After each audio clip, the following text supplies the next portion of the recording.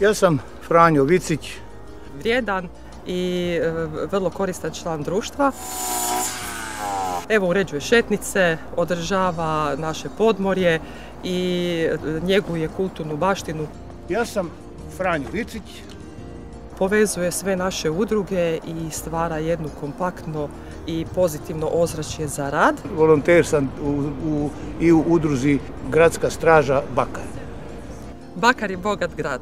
Grad baštine koja živi, grad bogate tradicije i povijesti, ali ipak rekla bih da je najveće bogatstvo našega Bakra da su to ljudi koji danas žive u Bakru. I to upravo ljudi poput Franje Vicića koji svo svoje slobodno vrijeme, svoj talent, svoje iskustvo i dalje ulažu da bi naš Bakar bio ljepši i bolji. Franjo Visić je prije dve godine se vratio u matično društvo, od koji je otišao prije više godina.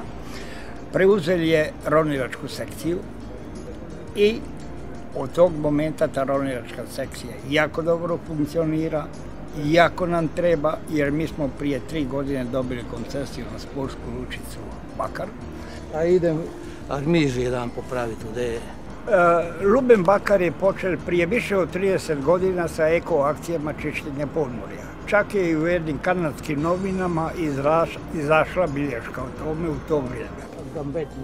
U tu akciju smo uključili društvo naša djeca, jer smatramo da su oni ti koji bi trebali to nastaviti nakon nas. Franjo je osoba koja je vrlo aktivna, sudjeluje u radu mnogobrojnih udruga, u društvenom životu grada Bakra, u mnogim volonterskim akcijama, akcijama čišćenja, humanitarnim akcijama i uvijek nam se odaziva na svaki naš poziv. To me ispunjava, eto. Tako sam e, zadovoljan kad mora nekome nešto pomoći napraviti